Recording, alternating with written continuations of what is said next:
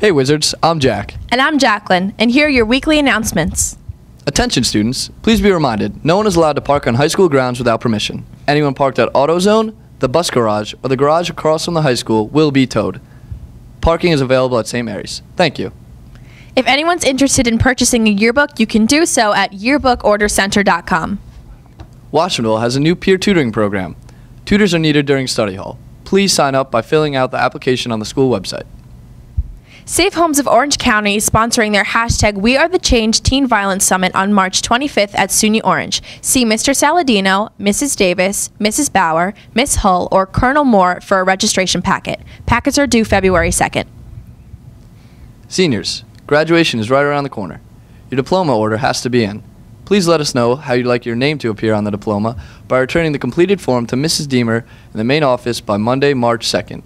Forms can be found on the counter of the main office. If anyone is interested in submitting a design for the scholarship run t shirts, please see Mr. Grenzer in room 320 or talk to your art teachers. If you are playing a spring sport and need a physical, the nurse practitioner will be in the health office January 27th and March 6th.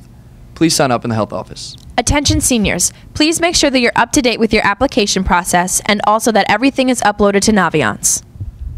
Now let's pass it to the sports guy Blake for the sports update. Thanks, Jack. Last week was an exciting week in sports for Wizards Athletics. Last week, our girls varsity team had a game against Goshen and Kingston. Here's Kendall and Dan with the coverage. This is Kendall Hicks reporting to you live from the girls' basketball game. I am here with Gabby Cortado, Victoria Marecki, Reagan Giustiano. So, are you guys ready for this game? Most definitely. Yeah, I think we are. Yeah, we're gonna do a lot of scoring and a lot of passing.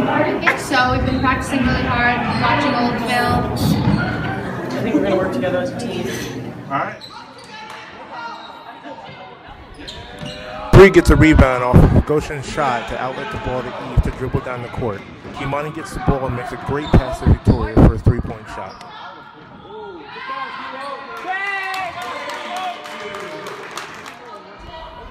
Then again, Victoria fumbles the ball from a pass only to get the ball back to make a step back three-pointer.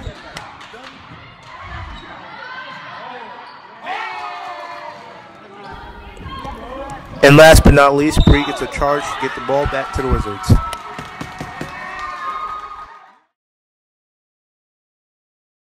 And here's Brianna with the coverage of the boys basketball game. Brianna Flynn here with Keith Leonard, captain of the boys varsity basketball team. How you doing, Keith? Good, good, good.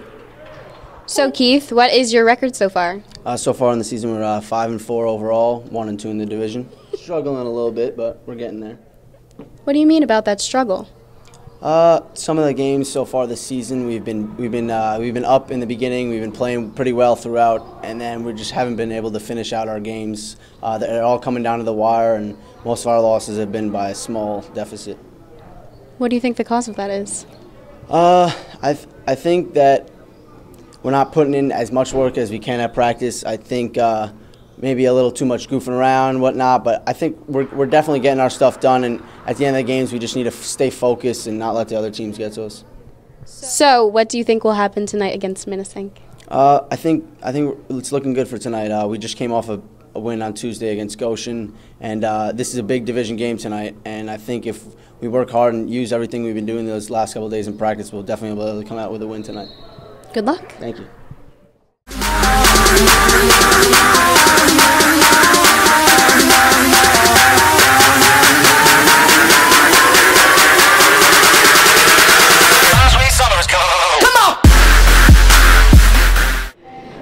Flynn here with Coach Rose of the varsity boys basketball team. We just finished a big win. So, what do you think? Um, I was really pleased with the win. Um, it's a divisional game. Uh, they've scouted us well. We know each other well. We knew what they were going to run offensively, and they knew what we were going to do too. Uh, that makes it a whole lot harder. And uh, the defense really stepped up today, caused a lot of turnovers, and um, uh, it was, you know, it was very important for us to get back to 500 in league, and now we're six and four overall. Um, this is only our second home game um, out of our first 10 games, so it was also nice to uh, uh, have a little home cooking and, and have the fans involved, and uh, we fed off that energy tonight. Is there anything that you could have done better tonight? Um, absolutely. I'm, I'm still unhappy with 18 turnovers. Um, too many were unforced. Uh, we, ha- we have to play a little bit smarter. Uh, we have to take care of the basketball and value each possession. Um, uh, we were able to do that at the end of the game, and um, that's what I was most pleased about was uh, closing out that game. That's something we haven't been able to do, is close out teams when we're ahead. Uh, we allow them in, uh, back into the game too often, and uh, today we were more patient. Today we moved the ball, and uh, today we finished off a team, a very good team. Thank you very much. Thank you. Our boys hockey team tied John Jay 6-6 and beat Arlington 5-4. Our indoor track team has a meet today, Friday the 23rd, at West Point. Also today, our wrestling team has a match against Saugerties. And now back to you guys. Thanks, Blake. Attention Student Coalition members. The permission slips for the Boston trip that is being held in May are due Monday. You can hand the slips in in room 154 or 160. Also, students who would like to join Student Coalition should know that the meetings are held the first Wednesday of every month. The next meeting will be held February 4th. Hope to see you there. And now to Matt Mendez, covering Shark Tank. Well, Here with me is one of the economics teachers, Mrs. Secreto. How are you doing today? Good. How are you? I'm all right. I'm here to talk to her about Shark Tank. Can you explain about it? What we do is we model the show Shark Tank, where students have to use the three basic questions. Every society must answer the basic questions of production and put a product or a good or a service into um, production. And well, my classes have already started the planning process. We watch a couple of episodes of Shark Tank, we analyze them, we look at the different equity deals versus royalty deals, we see how um, the sharks kind of operate, what a venture capitalist would actually do. Um, or would actually be interested in investing in, and then I set my students off on their own to do research and development and figure out what kind of a product they might like to come up with or how they can improve on a better product. And also, it's nice to have a little break where kids can be creative and they can have fun with the project as well.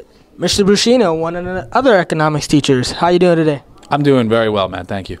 That's good to hear. Uh, since you're new to the project Shark Tank, what do you know of it?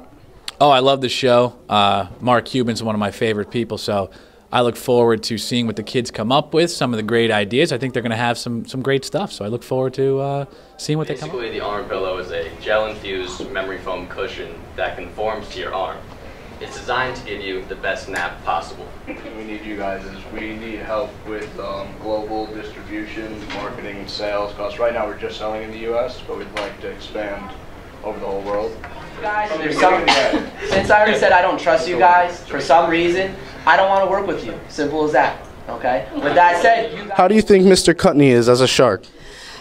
We know, we knew coming into it that Mr. Cutney was going to be the difficult shark. He's going to be the one to pick apart your product, but that's also why I've sent kids to him to do the R&D because he's going to be the one that's going to ask you the hard questions and make sure that you have all of your information complete. Here with professional shark, Mrs. Casey. How does it feel to have such an honor to be a shark for uh, Mrs. Secreto's project Shark Tank? I absolutely love it. I go in there, um, tearing them apart. I was a little rough on them, she said yesterday. They have some really great ideas, but they need a little bit more follow through, a little bit more direction following so that they can fill, fulfill the needs of the assignment. So, do you think they did a good job with the project? Kids did a great job with the project. They were interesting, they were well thought out, but they've got a couple of pieces of the assignment that would have given them that higher grade, but they're, they're really putting a lot of effort, thought, and it, it, it's a lot of fun. Okay, thank you for your time. And that's all we have for you this week. Thanks for tuning in, guys. Now, Jackie, how should we end this? Well, Jack, just close your eyes, Okay. click your heels three times, and think to yourself, there's no place like BGTV. There's no place like BGTV. There's no place like BGTV. There's no place like BGTV.